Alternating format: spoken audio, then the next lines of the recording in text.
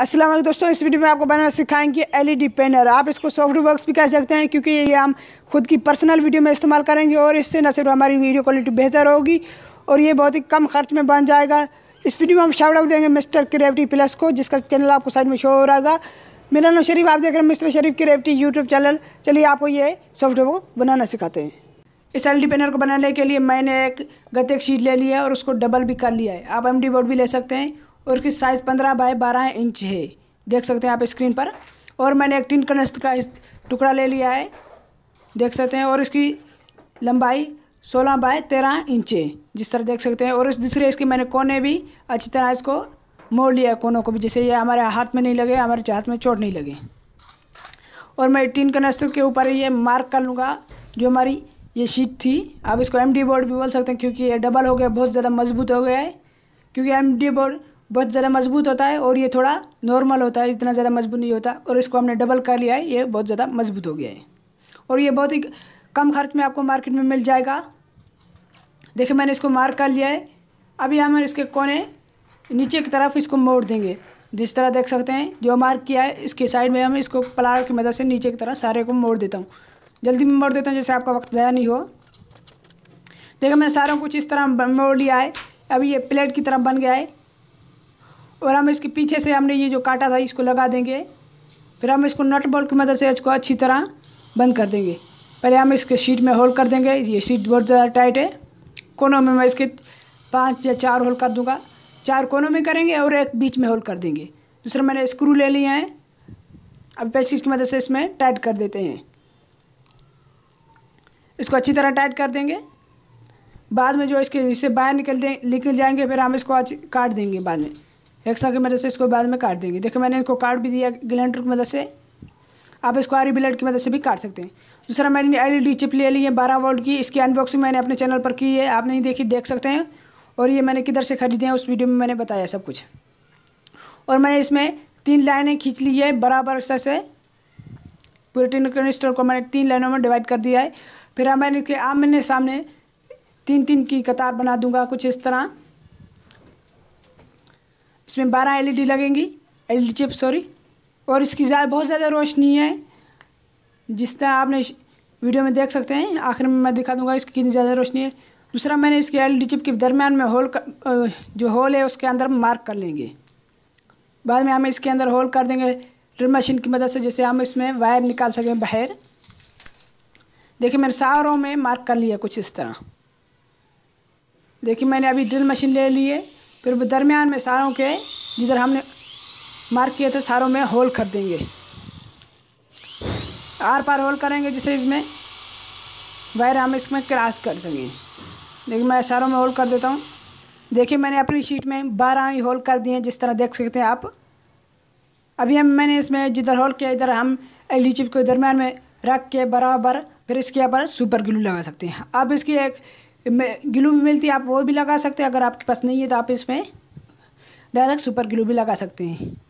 अगर आप इसमें हीट सिंग लगाना चाहते हैं, वो भी लगा सकते हैं, क्योंकि ये बहुत ज़्यादा गर्म हो जाते हैं। नहीं लगाना चाहते तो कोई मसला भी नहीं है, क्योंकि हमने इसके पीछे हमने एक चादर लगा रखी है टीन कनेस्तर की। ये चादर हमने इसलिए लगाई है क्योंकि हमारी ये पीछे से लकड़ी है, ज़्यादा गर्म हो जाए फिर भी आग पकड़ सकती है, या वो ख़राब भी हो सकती है। इसलिए हमने ये टीन कनेस्तर लगा दिया है। दूसरा ये हमारा टिन कनेस्टर इसके एल डी लाइट रिफ्लेक्ट करने के लिए काम आएगा। देखिए मैंने इसमें सारा में चिपका दिया है। दूसरा मैंने पाँच गज़ वायर ले लिए ये आपको दस रुपये पर गज़ मिल जाएगा मुझे इस तरह मिली है प्योर कॉपर है, जिस तरह देख सकते हैं ये आमतौर पर बड़े बड़े मशीन में यूज़ होती है। दूसरा जो हमने होल किया था, पीछे से हमने वायर लगा के पहले हम सारों में इस तरह एक वायर वायर जोड़ देंगे। आप नेगेटिव पॉजिटिव के हिसाब से जोड़ सकते हैं। पहले हम सारों में नेगेटिव में जोड़ देंगे, एक एक करके बाद में हम सारे में पॉजिटिव में वायर जोड़ देंगे, कुछ इस तरह कनेक्शन अगर आपको कनेक्शन समझ में नहीं आएगा, फिर भी मुझे कमेंट में पूछ सकते हैं। मैं आपको डायग्राम दे दूँगा। मैंने सारों की वायर भी बराबर से से काट लिए अब इसमें हम सोल्डरिंग कर देंगे वायर सारी वायर हम, बारह वायर हम नेगेटिव में जोड़ देंगे, बारह वायर हम पॉजिटिव में जोड़ देंगे। फिर हम एक एलईडी से दो मेन वायर ले ले लेंगे, जिसे हम पावर दे सकें। पहले आप आराम से नेगेटिव पॉजिटिव जोड़ दें, बाद में आप एक वायर से एक वायर से पावर ले सकते हैं। एक एलईडी चिप से पावर ले सकते हैं। देखिए, मैं सारों में पहले नेगेटिव जोड़ दूँगा, बाद में जो एक एक चिप की बच जाएगी हिस्से वाली, उसमें हम पॉजिटिव जोड़ देंगे। अच्छी तरह, इसमें ज़रा जल्दबाजी नहीं कीजिएगा। मैंने देखो, मैं सारों में सोल्डरिंग कर दी है। मैंने एक साइड में सारे में नेगेटिव दूसरी साइड में सारों में पॉजिटिव जोड़ दी गई है। एक के ऊपर एक के दूसरे देखें, पीछे से वायरिंग कुछ इस तरह है। फिर मैंने एक एल बीच वाली एलईडी से पावर देने के लिए दो वायर बाहर निकाल ली है, जिस तरह देख सकते हैं।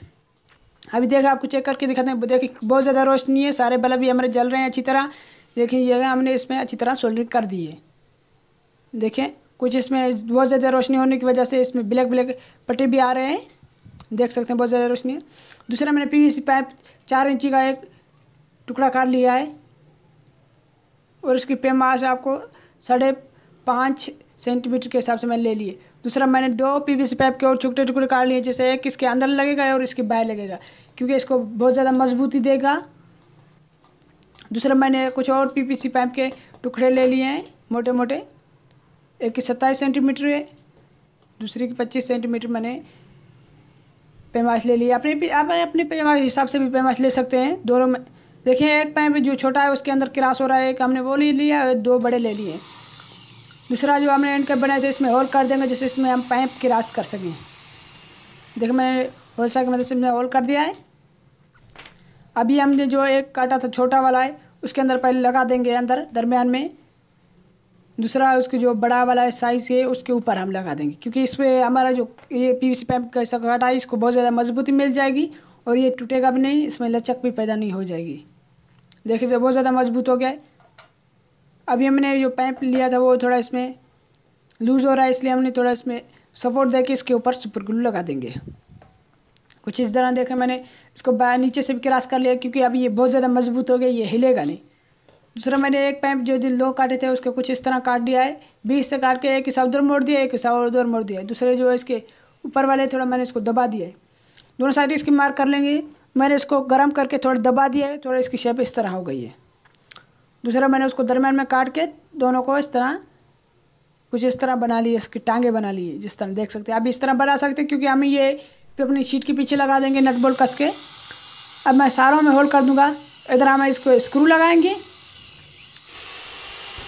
फिर हम स्क्रू लगा देंगे। अब मैं सारों में होल्ड करके देता हूँ, दिखाता हूँ आपको।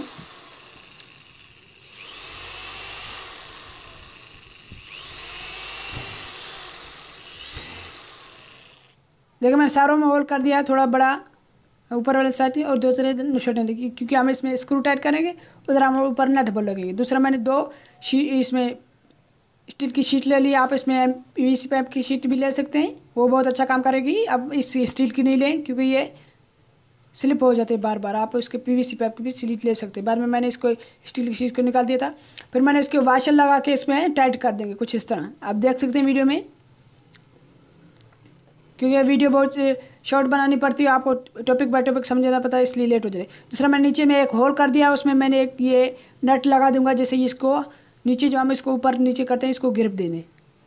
फिर हमने उसमें डाल दिया है नीचे वाला पाइप है उसमें लगा दिया है। देखिए, अब बहुत ज़्यादा मज़बूत हो गया, इसको नट को कस देंगे, ये बहुत ज़्यादा मज़बूत हो जाएगा, ये निकलेगा नहीं।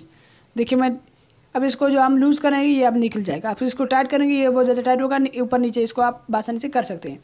दूसरा, मैंने ये आम बोन, सॉरी, स्क्रू यूज़ कर रहा हूँ, जो आम तौर पर आपको मार्केट में मिल जाएँगे। एक रुपए के दो मिल जाएँगे, या एक मिल जाएगा आपके मार्केट के हिसाब से, आपके एरिया के हिसाब से।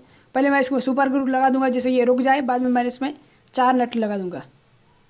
देखिए, मैं इसमें नट बहुत टाइट बंद कर देंगे, जैसे ये निकले नहीं, निकलेगा तो हमारे टेबल के दर में ऊपर अन गिरेगा जाए ये गिर जाएगा।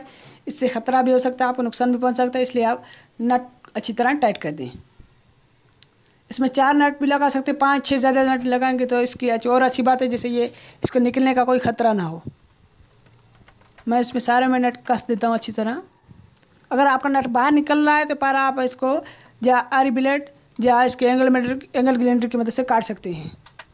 नट को अच्छी तरह बड़े नट यूज़ करें, अच्छी तरह नट यूज़ करें। देखिए अब ये कितना मज़बूत हो गया, चार नट में इसमें बहुत ज़्यादा मजबूती आ गई है। अभी हम थोड़ा इसको लूज़ कर देंगे जैसे इसमें हम दूसरा नट बोल्ट लगा सकें। हम बोल्ट इसमें लगा देता हूँ। इसके क्रॉस कर देता हूँ, क्योंकि हम इसको, ये नट बोल्ट इसमें इसलिए यूज़ कर रहे हैं क्योंकि इसके हम ऊपर नीचे भी कर सकें। इसको हम हरकत दे सकें, इसलिए हम इसमें नट बोल्ट यूज़ कर रहे हैं। आप इसको ज़्यादा टाइट भी कर सकते हैं, आप इसको कम टाइट भी कर सकते हैं। हम इसको बाद में निकाल देंगे, क्योंकि हमें सर पी वी के फिर भी हम इसमें प्लेटें यूज़ करेंगे, क्योंकि ये लोहे की प्लेटें हैं, स्टील की प्लेटें ये स्लिप हो रही थी बाद में। देखिए, मैंने इसको निकाल लिया है अभी ये लगा दिए। एक साइड पे मैंने उस पर सुपर ग्लू लगा, दूसरे साइड में हमने उसमें अपने एलईडी पैनल में हमने नट बोल्ट लगा दिया है। मैंने वायरिंग भी कर दी है और मैंने एक तख्ती ले लिया आप इसको वुड का टुकड़ा भी ले सकते हो उसके ऊपर हमने चार होल भी कर दिए हैं और उसके ऊपर हम ये अपना पीवी से पाइप का ये जो हमने बनाया है, स्टैंड इसको चिपका देंगे। अब इसको बहुत ज़्यादा मजबूती से चिपका दें, ये जैसे आप इसको कुछ लगाएँ तो ये टूट निकल नहीं जाए, इसलिए बहुत ज़्यादा मजबूती से लगा सकते हैं। मैंने एक बटर पेपर ले लिया है, आप दो बिजली यूज़ कर सकते हैं, क्योंकि इसकी रोशनी बहुत ज़्यादा है क्योंकि अभी इसके लिए दो या एक यूज़ करते हैं। मैंने एक यूज़ कर रहा हूँ। फिर हम इसको टैप की मदद से अच्छी तरह बंद कर दूँगा। देखिए, मैंने इसको अच्छी तरह टैपिंग कर दिया और उसको अच्छी तरह बंद भी कर दिया, देख सकते हैं आप। अभी देखिए, इसको मैं ऊपर से इस तरह लगा देता हूँ। देखिए, मैं इसको अच्छी तरह लगा देता हूँ। अभी आप इसको नट को नीचे करके टाइट भी कर सकते हैं, ऊपर करके टाइट सकते हैं, क्योंकि इसकी साइज़ छोटी या बड़ी हो सकती है। आप इसके सामने भी लगा सकते हैं। चलिए, अभी इसको मैं आपको चेक करके दिखाता हूँ।